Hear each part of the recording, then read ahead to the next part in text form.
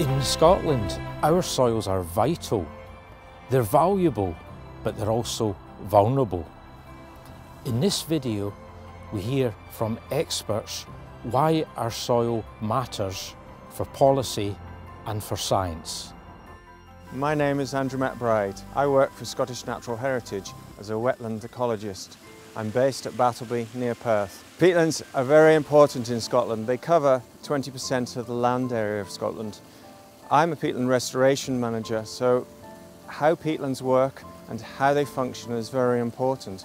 It's also very important from a society point of view, from the point of view of biodiversity, but also water quality and also carbon that goes back into the atmosphere.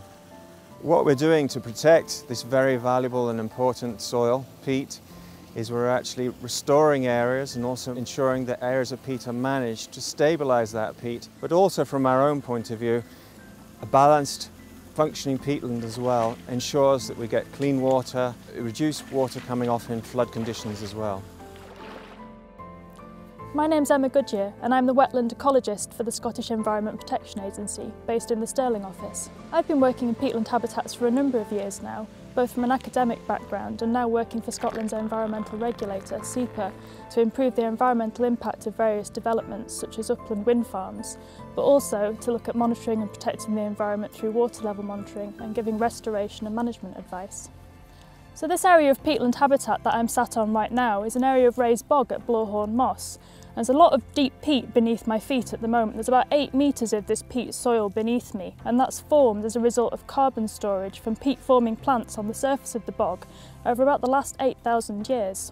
So part of my job as SEPA's wetland ecologist is to look at the habitat information that's input with such development applications such as wind farms and hydro schemes.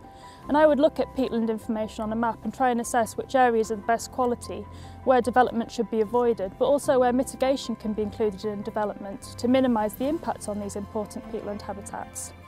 And working as SEPA, we also try to minimise the excavation of peat soils, which are a really important carbon store and can result in a lot of carbon being released to the atmosphere when disturbed.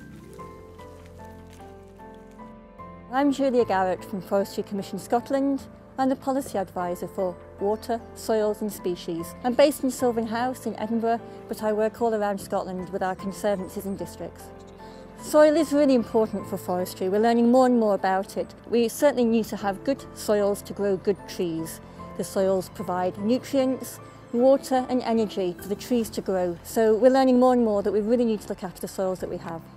Well, first of all, we need to think about how it is that forests also contribute back to soil. So, for example, the trees will soak up flood water and spread it around, and the, the leaves and the twigs and the seeds will fall to the ground as organic matter, which will help soil biodiversity.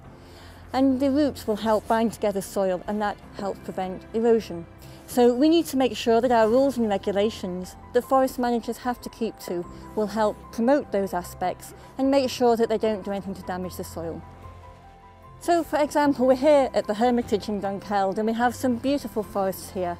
The reason that they've done so well is because we've worked with forest planners to make sure that they're sited and maintained in the best possible way. And that's by looking at the type of trees that we have here and putting them on the right soil type. It's according to the type of soil, the climate the topography.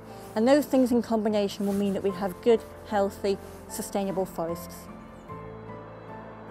My name's Mark Aitken. I'm a Principal Policy Officer on land for SEPA and I'm based in Stirling. Soil is extremely important to SEPA. For example, soil acts as a very good storage of carbon, but if soil is mismanaged, the carbon comes out as well as other greenhouse gases. So soil has a major influence on climate change. Soil is also very important for water. The way we manage soil can affect water quality and it can also affect the risk of flooding in Scotland. One of the main risks to water quality in Scotland is diffuse pollution from soils. So SEPA is very actively working with farmers to reduce diffuse pollution and to work out ways that farmers can better protect soils and better protect watercourses. Another connection with our work is work we're carrying out on flood risk management. We know that soil management can have a big effect on the hydrology, the way that water moves from land to watercourses, and therefore potentially increasing downstream flood risk. Another area that SEPA is involved in is planning. SEPA is the statutory consultee for local authorities on development proposals. We as an organisation will look at these proposals and make comments on the impacts of soils and the functions of these soils of the proposals.